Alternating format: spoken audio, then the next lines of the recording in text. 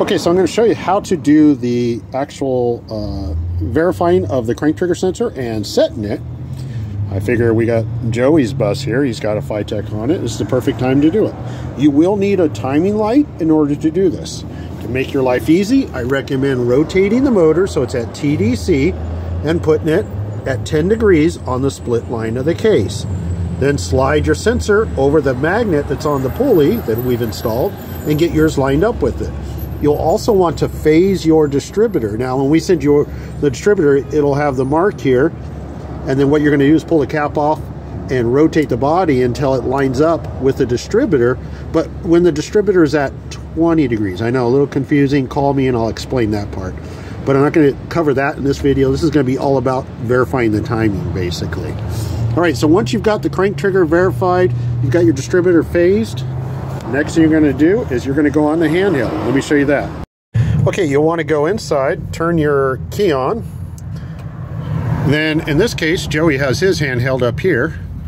We're going to go on using the little joystick little buttons. I'm going to come down and scroll down to go EFI, initial setup. Press the OK button.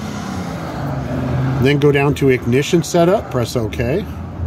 And then under this section here, you'll see you got your 10 degrees, which is your crank trigger or distributor based timing, uh, depending on what you're using. Uh, lock spark adjust is going to be the verifying, sorry, just a reflection. That's going to be the verifying number, basically, where the computer is going to lock and hold the timing for us. And it's basically asking you, hey, what would you like to, for it to be held at?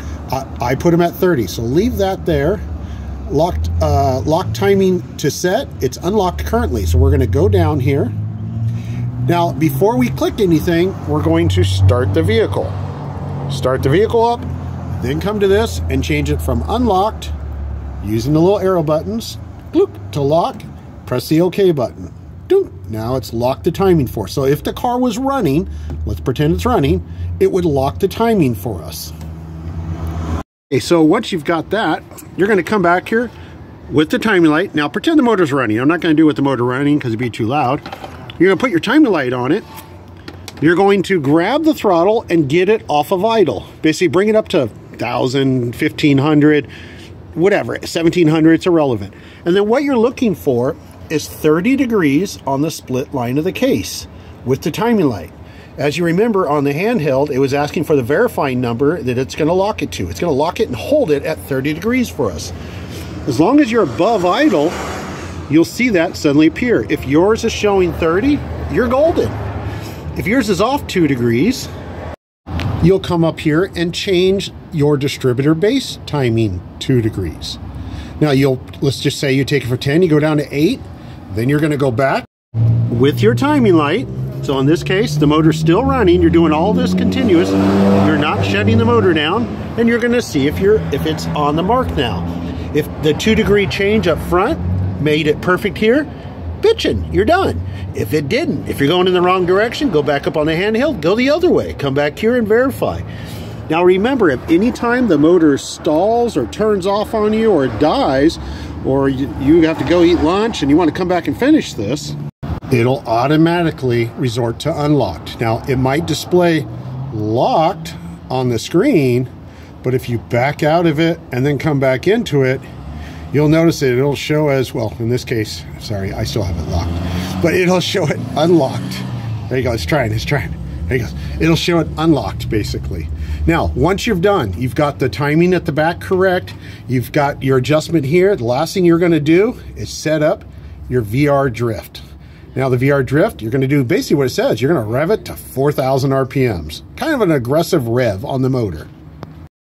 So with the motor revved up to four grand, with the timing still locked at the handheld, you're gonna look to see if you see 30 degrees.